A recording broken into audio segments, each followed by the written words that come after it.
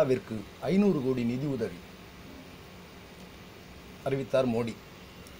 ஆனால் பிரணாய் விஜயன் இதற்கு அதிருப்தி தெரிவித்துள்ளார்.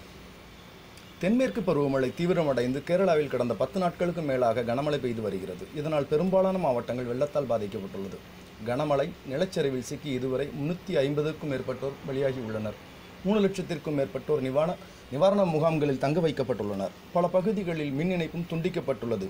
அம்மாநிலத்தில் ராணுவம் மற்றும் பாதுகாப்பு படை வீரர்கள் தொடர்ந்து மீட்பு பணியில் ஈடுபட்டுள்ளனர். இந்நிலையில் வெள்ளத்தால் பாதிக்கப்பட்ட பகுதிகளை பார்வையிட பிரதமர் மோடி நேற்று கேரளா வந்தடைந்தார்.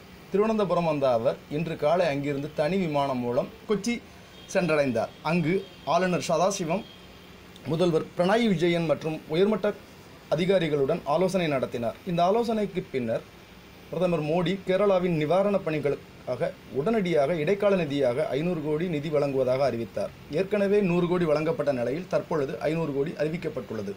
இதில் உயிரிழந்தவர்களின் குடும்பங்களுக்கு தலா இரண்டு லட்சமும் காயமடைந்தவர்களுக்கு ஐம்பதாயிரமும் அறிவிக்கப்பட்டுள்ளது.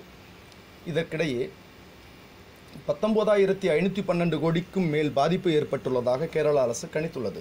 உடனடி நிவாரணமாக ரெண்டாயிரம் கோடி ரூபாய் கோரப்பட்ட நிலையில் தற்பொழுது ஐநூறு கோடி ரூபாய் வழங்கப்பட்டுள்ளது என கேரள முதல்வர் பினராயி விஜயன் அதிருப்தி தெரிவித்துள்ளார்.